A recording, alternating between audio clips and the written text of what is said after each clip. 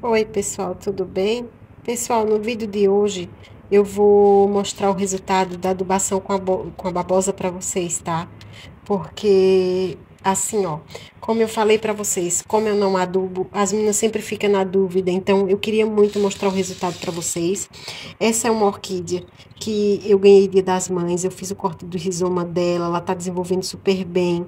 Só que o que acontece, as minhas orquídeas, como eu falei para vocês, elas nunca florescem uma floração após a outra, nunca.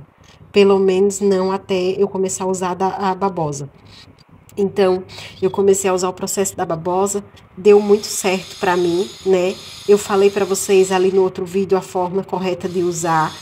Essa minha orquídea aqui, ó, o corte de rizoma dela, a raiz de baixo, eu não consegui salvar, porque foi quando aconteceu o incidente que eu tive que ficar no hospital, então não tinha como eu molhar ela nem ela e nem a outra raiz. Então não me deu bebê nenhum, mas ela tá bem, ela não murchou folha, ela não aconteceu nada com ela, ela tá toda normal, né? O que que aconteceu? Ela me deu essa folhinha aqui, que é o que acontece com todas as orquídeas que tá se recuperando, né? Ela me deu a folhinha e começou a emitir raizinha. Só que eu não esperava ela dar haste floral. Ela começou a, o, processo de emitir haste floral logo após a adubação com a babosa.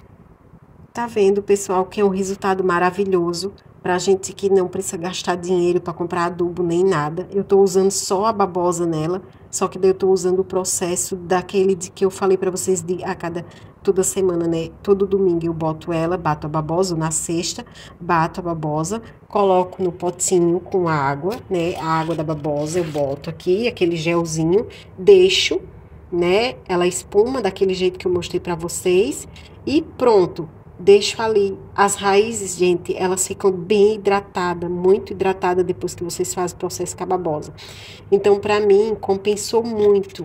Eu já não estava querendo usar nenhum tipo de adubação nas minhas orquídeas, porque assim, o meu desenvolvimento das orquídeas, elas desenvolvem muito bem com o meu cultivo natural, né? Mas eu não esperava, eu esperava o que da babosa? Eu esperava que ela fosse me dar bastante raiz, bastante folhinha, e daqui a uns seis, oito meses ela se preparasse para floração. E não que ela começasse a me dar haste floral agora, porque é recente.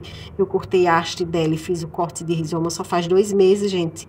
E ela está desenvolvendo super bem, desenvolvendo a raizinha, desenvolvendo a haste floral. Isso aqui é maravilhoso. Não tem, então assim, ó, se vocês teve umas algumas inscritas do canal que falam, ai Maria, será que eu uso só a babosa, né? Eu fico com muita dúvida quando eu falei e tudo assim, ó, gente.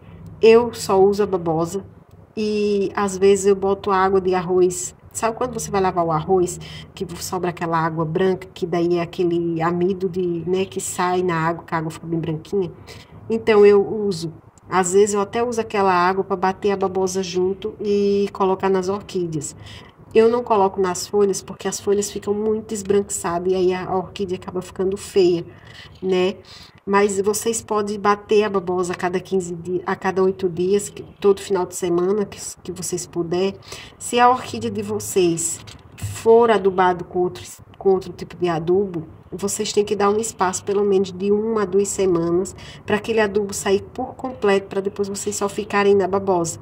Tá, pessoal? Eu não recomendo vocês usar o mesmo, um adubo de floração, um adubo de manutenção e depois usar a babosa, porque muita coisa numa orquídea só pode ser que ela fique bem mal, né? E eu tô muito feliz, eu queria compartilhar isso com vocês, essa alegria, né? Porque uma haste floral é como eu falo para vocês, eu sempre gosto muito de ver enraizamento, de ver folha, de ver o vegetal, né? Mas claro que eu gosto também da floração, né? Quem é que não gosta de ver uma floração maravilhosa assim, ó, gente? Tá vendo?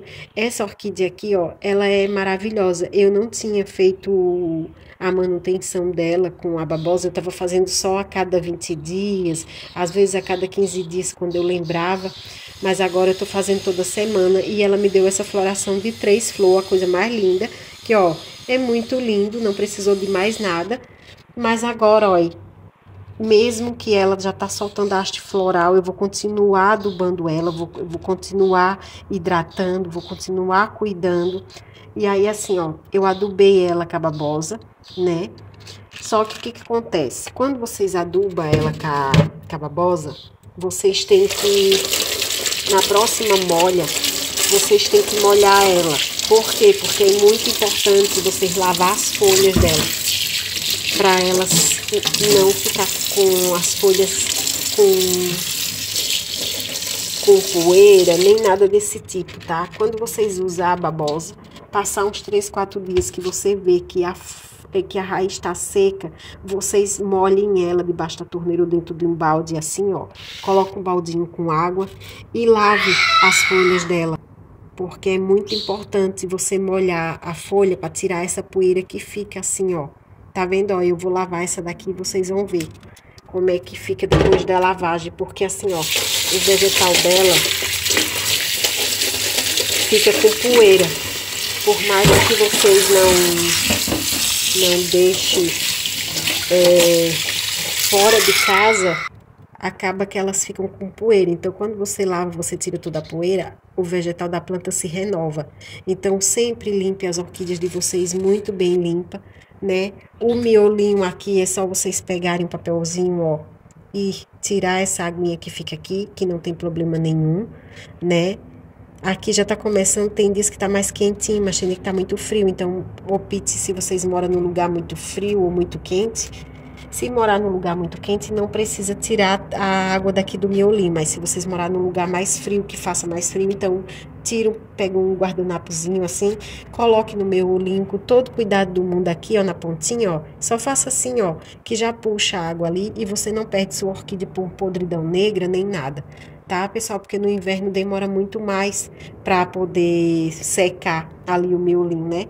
E isso aqui era o que eu queria mostrar para vocês. Eu espero que vocês fiquem felizes assim como eu estou, né? Eu tô maravilhada com a, com a babosa. Então, assim, ó, agora é que eu vou incentivar mais ainda vocês a usar o uso da babosa, porque é uma planta natural e que faz muito bem, porque tá aqui o resultado.